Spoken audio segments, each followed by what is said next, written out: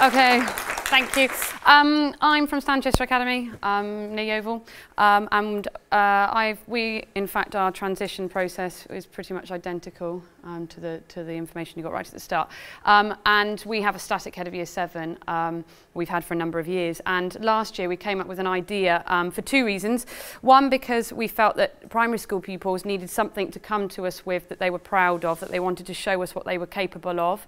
And also because, uh, as many uh, secondary teachers probably find, or, or I certainly do, is they start really well and their handwriting and everything is beautiful when they arrive with us, uh, and then it starts to slip. So this is a way of kind of keeping up those standards. Um, so how it works is when they come up on induction day, they bring up their passports with them, and their passports is a booklet all about them.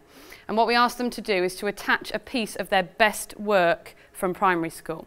Um, it's brought with them on induction day, and we then photocopy it onto A4 stickers. Um, and then it's distributed to staff, especially staff of um, subjects where they are writing for longer pieces, um, and they put them on the inside front cover of their exercise books, um, so that is a constant reference point for the rest of the school year. Um, so we ask, we have specific rules with the pieces. It can't be graded.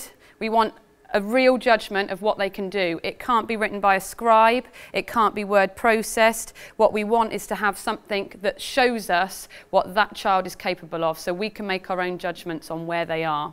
Um, it, um, they um, bring it up with them on the day. This is just one piece. There's another one there.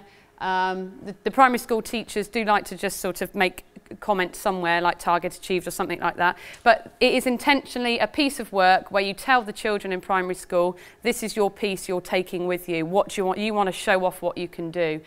Best work, take it with you, and it bridges that gap between them. My hamster is stuck in the piano was a popular one. Um, it lets you look at their handwriting, it lets you look at the level that they are working at uh, and base your own judgments on it. Um, and what we're doing is we refer back to it throughout the year. So are they keeping their handwriting uh, in, and their work in as good a standard as they did when they arrived with us?